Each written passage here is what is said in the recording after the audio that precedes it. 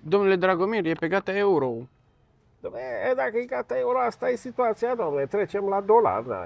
De campionatul european de fotbal, ziceam. E, fideața e dreacă de simpatic, domnule, mă, mă, e, mă, mă, mă șocați, domnule. România a făcut o figură frumoasă. E, Ce să zic, e, la figur toți suntem buni, domnule.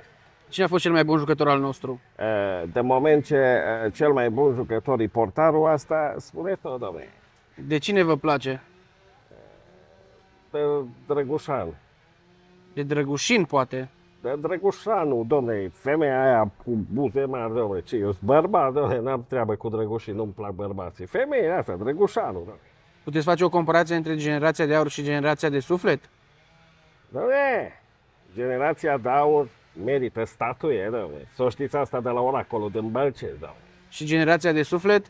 Ăștia merită niște duplexuri făcute eh, la mine pe proprietate, cel mult cu terasa de 50 de metri pătrați, domne. Gigi Becali iarăși face echipă de Champions League.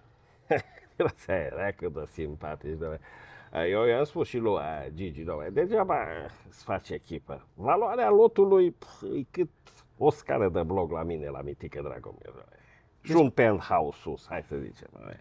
Despre victoria neașteptată a Corvinului? Da, e, nu e berea ca și vinul, e, nici echipă ca Corvino.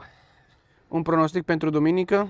E, ori gretare, e, ori niște mititei așa de aia de sfârie, neapărat alături de șpriț. Da, e. Pronostic pentru finala campionatului european? Așa zi, domnule, nu te dracu. Da, e, dacă prin spaniolii o zi e, bună, bat Anglia.